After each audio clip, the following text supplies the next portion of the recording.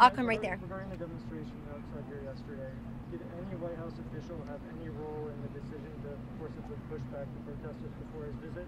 So what I was told is that um, the authorities make those decisions, and they make those decisions generally because they were already they had already decided to expand the perimeter from H Street to I Street, based on the events from the night before.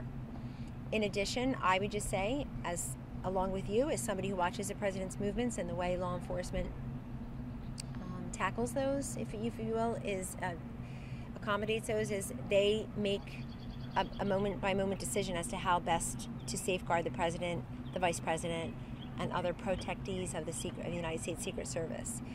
Um, I'm glad nobody was hurt.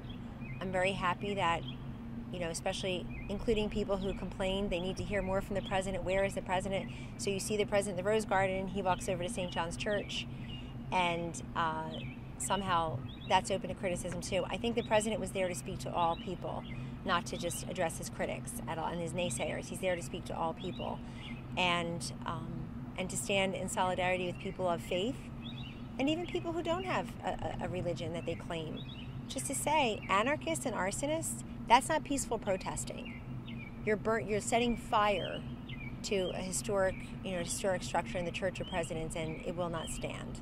So the president had no role whatsoever in, the decision. Not that I'm aware of. That would surprise me. I don't think anybody asks him to make decisions about his security. He had alluded to earlier in the day there being um, more of a crackdown on when he called in his call with governors yesterday. They alluded to, there being a crackdown in D.C.